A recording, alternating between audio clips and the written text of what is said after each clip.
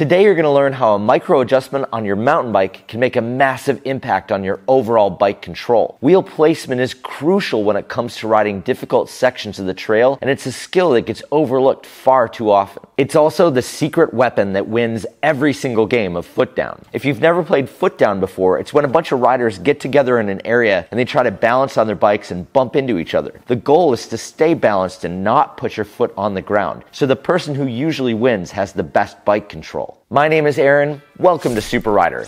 On this channel, we break down complex bike skills into easy to learn techniques so you can quickly apply this stuff to your own riding. The other side benefit of today's skill is that it's a great replacement for the track stand. So if you've been struggling to learn the track stand or you find yourself in a place where you can't track stand, this is a great replacement for it. The core of what we're working on today is wheel placement, which impacts your balance, your bike control, and your position on the trail. We're going to master this skill by lifting and repositioning our wheels. First, we'll work on our front wheel, then our back wheel, then we're gonna put it all together. I did say that this was a bit of a micro adjustment, but you'll see in a few minutes how this applies to bigger movements on the bike. If you've watched some of the previous videos about pivoting on our front and back wheels, those skills are complementary to the one we're gonna learn today. Also, I'd usually have a few bike setup suggestions for learning the skill, but the only thing I really wanna focus on today is your hand position on the bars.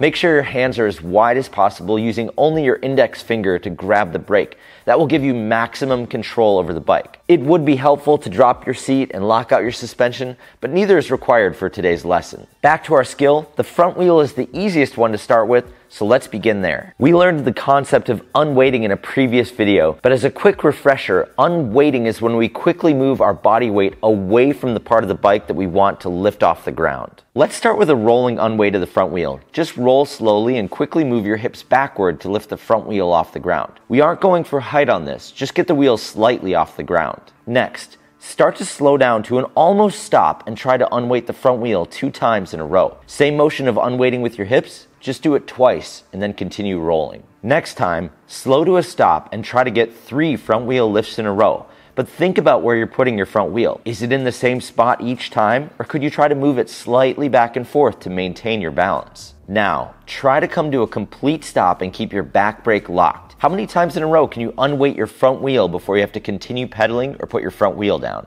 My favorite part about practicing this skill is going for the high score. And here's the secret to getting the high score. It's all about using your front wheel to maintain your balance. So try lifting your front wheel to the left and then to the right. The second your mindset shifts from I'm lifting my front wheel off the ground to I'm using this front wheel to balance myself, high scores are coming your way. If you're having a hard time getting that front wheel to move, focus in on what your knees are doing. Remember that your hips control most of the unweighting motion. So if you open up your knee away from the bike as you're doing that unweighting, the front wheel should follow. You may have seen this this drill in a previous video, it's called pendulum. We start by moving our front wheel in one direction, then back the other way. This is another great drill to practice your front wheel placement in both directions. After just learning this skill with the front wheel, your balance and control has probably taken a giant leap forward. Now let's add in the back wheel and then we'll put the two together. As we start working on the back wheel lift, remember that our hips play a huge role in unweighting here and they have to quickly move to the handlebar to unweight the back wheel. We also use a technique called the pedal scoop, which is a motion where we push down, back, and up on our pedals. This helps guide the back wheel into the air as we're unweighting it. Same thing here, let's work on a rolling unweight of the back wheel. Just focus on getting your hips forward and lifting the back wheel up. Again, it doesn't need to be huge, just get it off the ground. We'll follow that same pattern of slowing down and trying to get two back wheel lifts in a row. You might play with your own technique a bit here. Is it easier for you to keep your weight over the bars and let the pedal scoop do the work? Now let's try to come to a stop and get more than two back wheel lifts in a row. I find that it's easiest to push the back wheel with my back foot, so you might just try starting in that direction. One trick that helps me move my back wheel around is pointing my front wheel in the opposite direction that I want to go. So if I want my back wheel to move right, I'll twist my front wheel to the left as I do the unweighting motion. You can do the pendulum drill with the back wheel, moving the wheel in either direction. Or if you want to get really fancy, try this drill. It's called clocks and it's a full 360 with the back wheel. This is absolutely not required, but if you want to feel like you've completely mastered this skill, do the clocks drill with both wheels. Start with the front wheel though, that one's easier. Since you've got both wheels individually lifting and repositioning, it's time to put it all together.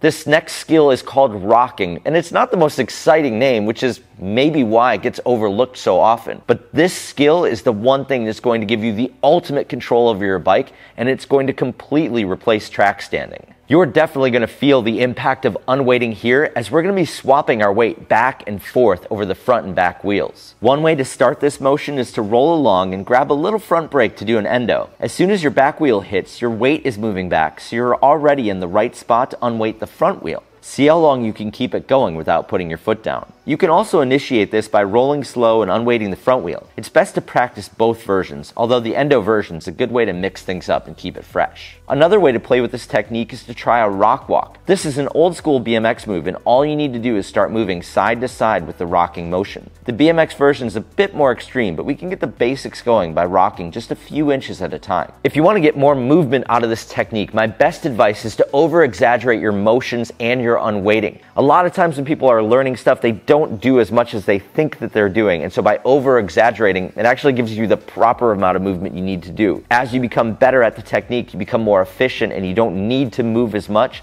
But as you're learning these, over exaggerating your movements can be a huge help. That's how we lift and move our wheels exactly where we want them to be. You have a level of bike control now that most riders don't have. And as a side benefit, the next time you play foot down, you're going to be unstoppable. If this video was helpful for you, consider sharing it with someone that you ride with. If you want to continue progressing on your bike, make sure you're subscribed to the channel so you don't miss the next video. And if you can't wait that long, go check out this playlist right here. It's where all the good stuff is. In any case, go out there, have fun, and don't forget, practice makes progress.